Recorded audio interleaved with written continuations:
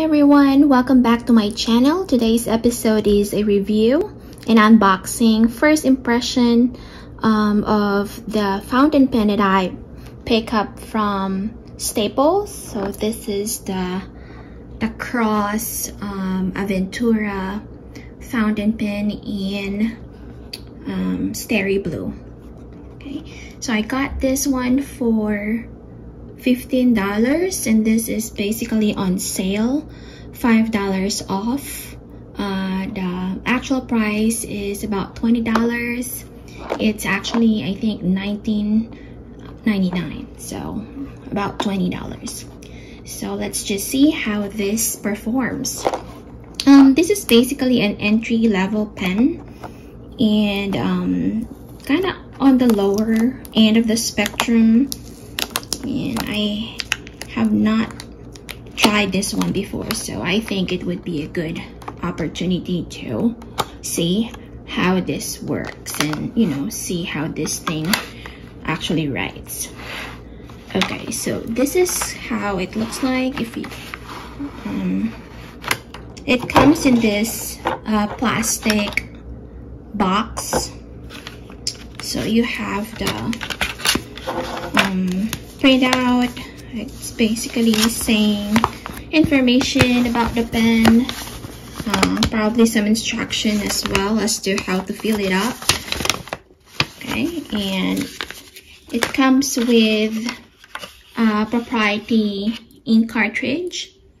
So I think this pen you can also use a converter for this pen, but that one you have to buy separately. Okay, so this is in starry blue which is basically kind of like a navy blue. Um well looking at just you know how it looks like it it looks stylish and it looks um pretty classy. But then again um the real test of the quality of this pen is how it writes.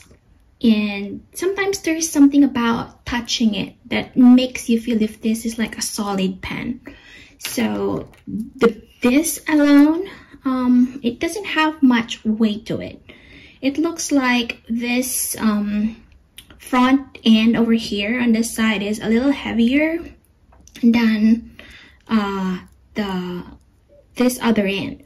Um, I don't really know why, but the cap itself feels heavier than the pen.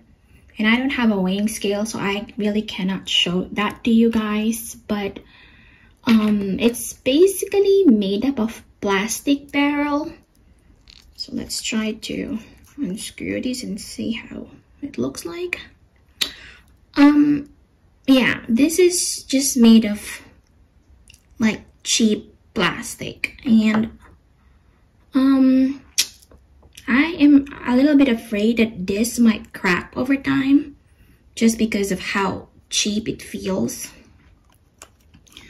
Um, now let's examine the pen. So this is how the pen looks like. Um, you have this cross um, engraving here um, on the clip. And I don't know if it, it actually feels like it's metal. Okay so it has that beautiful silver chrome like finish. And um, it has this uh, here on this side you also have another engraving that says cross. And the cap itself looks a little weird. Um, just because on the side view it's a little bit slanted and then it, it kind of like here at the other end it's also slanted and I don't really know the purpose of that one other than maybe aesthetics but I don't know. I, I, I really can't complain about the design of this but let's just see. So um, this is the box that it comes with and it just says here fountain pen and I don't see anywhere um, the size of the name for some reason I don't know So I am basically just judging it from the price tag. I am just making an inference here. It says 2 ms, so I am guessing maybe this is a medium pen, but I don't know. So Cross is basically a, a pen company that has been established in 1846. There it, there it says 1846. And if you look here, it says made in China. So I'm guessing that they're designing this pen in the US, but they are outsourcing their manufacturing. So let's see how this pen works. Um, this is basically a snap-on kind of like cap, a little bit. I don't really feel the it snapping because sometimes, you know, um, to know whether the pen is actually secure, you have to just to actually hear that snap there, but this one does not. I don't know. Um, let's see. It boasts a little bit, but it's not really that secure. But let's just um try it out. Okay, so this is the ink cartridge and this is how um, the nib looks like. I don't know, but it looks a little bit different. So you have the the logo one there and I look online on um, how other nibs look like. This looks like a different design and it seems like it's made up of a plastic feed. So we'll see. And then this section right here is a little bit smooth. And I don't know if this is metal or just a plastic that is made to look metal. But yeah, I don't know if this would be a problem for other people because, you know, like holding the pen and make, and you know, if it's slippery or it doesn't help with the grip or something, I don't know. But we'll try this out. So, um, this is basically made up of just, you know, steel nib. But we'll see how this performs. Okay, so how do I do this? It looks like I just need to push. Let me see what, what it says here in the instruction. Alrighty. Um. Okay, so. Hmm where is it? So this is about the converter. If you have a converter, basically a twist. But what about how to insert the cartridge here? I don't really know. We'll see. Oh, there you go. So that section over here tells you like how to insert the cartridge. Okay. So let's try this. So basically, all I need to do is basically just to push this one. Okay, so I heard that snap, so should be good. We'll see. And then we'll also do some writing sample. So like I said, um, I mean, I won't have any trouble writing with this pen. Um, it just feels a little weird because it seems lighter on this side just because this one is made of plastic and maybe a little bit heavier on this side. I don't know if this is actually metal or not. But if you post the cap, um, it gives the pen a little balance. So let's just do a writing sample. Maybe I would shake it a little bit and see. Okay. Okay, I don't see anything coming. Maybe it will take a little bit for it to write. Okay, let's try it again one more time. Okay, so it really has a hard time starting. Come on.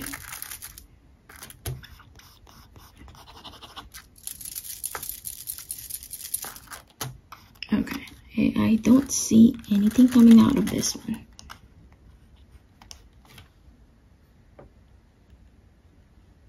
Hmm. What do I do here? Open this one up and see if I actually inserted it right. Push it a little bit more. Um, give it a little shake.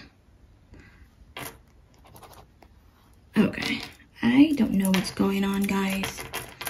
This is really having a hard time starting. I don't know what's going on.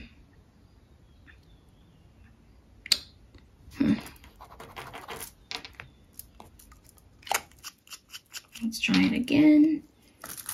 Give it a little bit, a little shake. Let's see. I don't know. Nothing's coming out of this. It's not writing at all.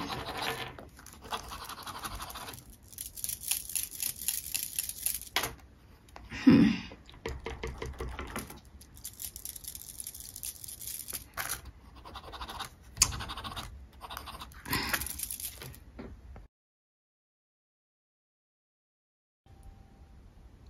Okay guys, I'm back. Um, at first, I really really had a hard time starting this fountain pen, but I did get it started. I did rest it on the table for a little bit for giving the opportunity for the ink to actually come down to the feed. So now I'm gonna show you how this pen writes. So I still like to post uh, the cap. I'm gonna do some uh, vertical lines here. Although it does not say specifically on the package um, what the size of the nib is, judging from the lines that I can create, this is definitely a medium nib. Okay, so let's try to write a little bit faster. All right, so the nib itself feels really smooth. And here you can see that the feed does not have trouble keeping up. So I don't see the pen skipping at all. Um, let's see the ink. Oh. So the ink looks pretty dry. It, it looks like a dry ink. Uh, maybe that's why um, it had a hard time starting at first, but I don't know that. Um, it could also be because the pen is new, so that's normal. So let's do some writing sample here. So this is A.T. um, cross. And the model of the pen itself is Aventura.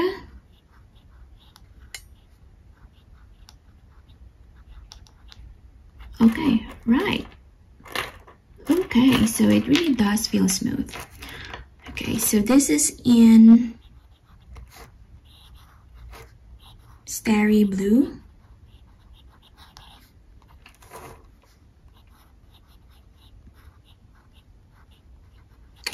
Yeah, I really cannot complain, guys. It writes really smooth. And I don't know in the near future if this is gonna skip but for now, I would say that I am happy with the way the pen writes. So other than this, having a hard time starting, but that's really expected for a new pen. Uh, let's do some more writing here. So let me try the, the quick brown fox.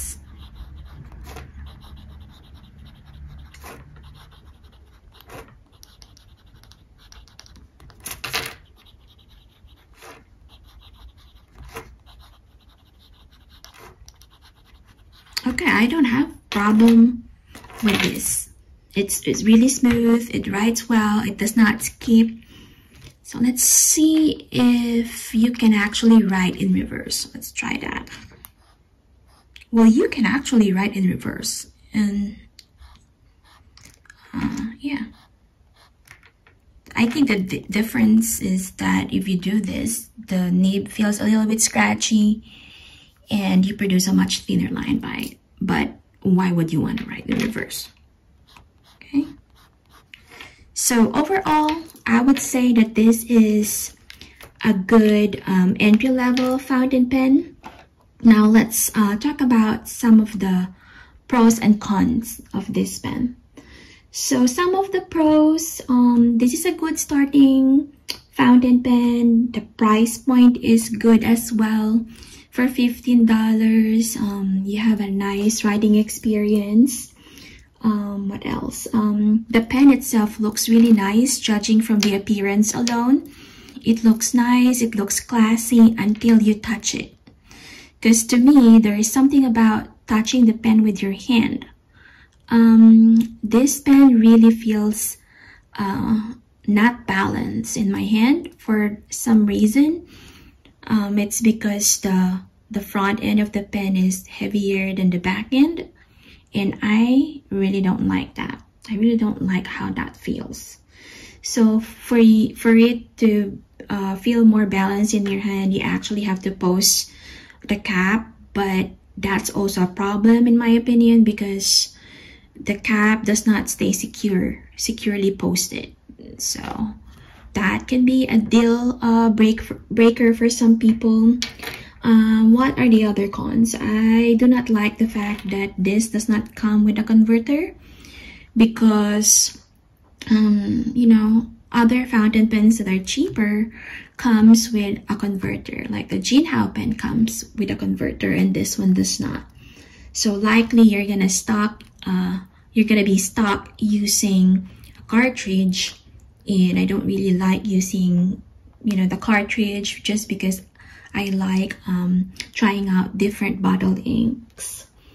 And so those are some of the pros and the cons that I could think of about the pen. So overall if you don't mind the weight of this pen and if you judge by the smoothness of the writing then this pen might be for you.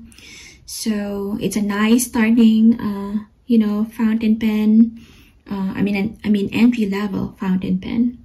Um, so let me know what you guys think. You are free to drop your comments down below. And I'll see you guys again next time in my other videos. Bye!